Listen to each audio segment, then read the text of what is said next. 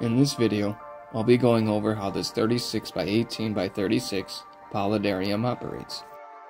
I'll also add a full do-it-yourself build video located in the top right link now.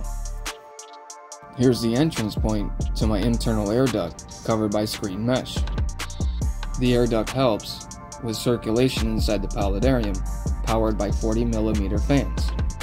This is the skeleton of the air duct before I put great stuff, cork bark, and everything else all over the top.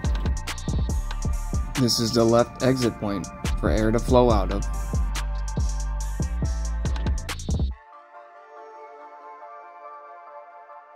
and here's the right. It's important to note I normally would not fill up the paludarium with this much fog. I'm just doing so, so you can see the air circulating with the fans. I also sped up the video. Now for the right side waterfall. Going around to the side to see a better look at our back chamber. This is where all the water is pulled up through the pumps this is the mini pump for the right side waterfall.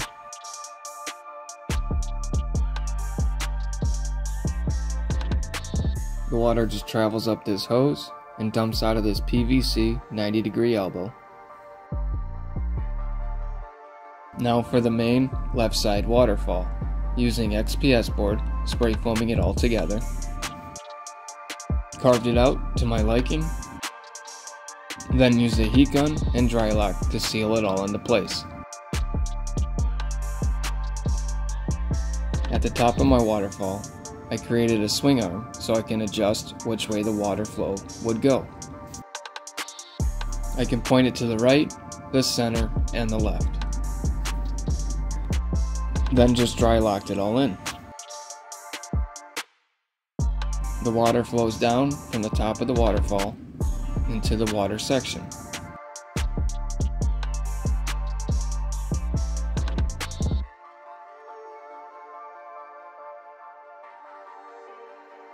The water portion holds just over 16 gallons. The water and land section is separated with corrugated plastic that I siliconed into place. The water flows through the screen into the back chamber, which is then sucked up through the input tube to my exterior canister filter.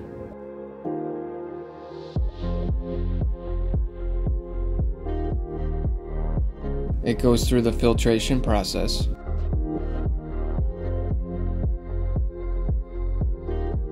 Runs through an exterior water heater. I have since turned down the temperature. The water dumps out at the top left waterfall, creating a perfect circulation throughout the whole paludarium.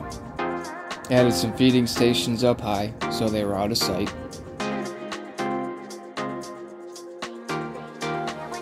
Added lots of hides in the hardscape background for the inhabitants to feel safe and secure.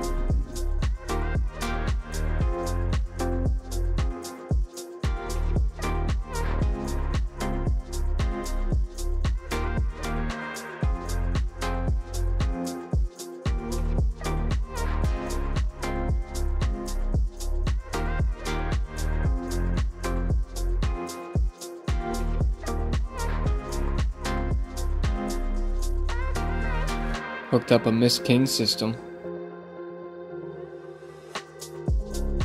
Siliconed in some glass to the custom lid frames. This is a pretty cool company that I found online.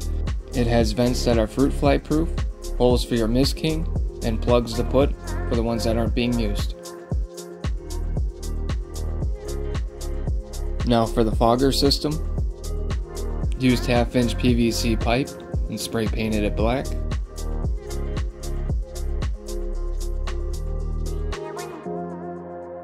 And installed half-inch bulkheads.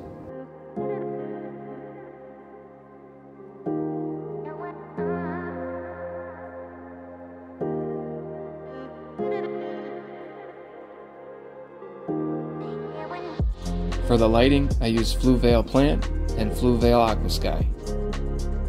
It's all controlled via Bluetooth right from your smartphone.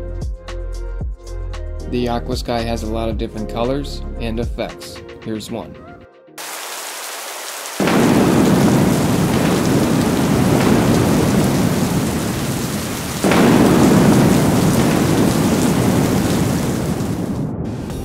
Added some tubing for my bulkheads for the water overflow.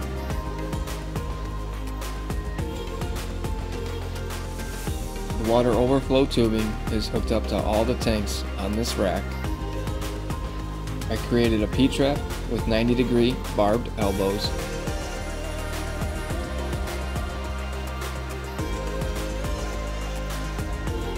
A shut-off valve if ever needed, and then it dumps right into my sump pump for no maintenance.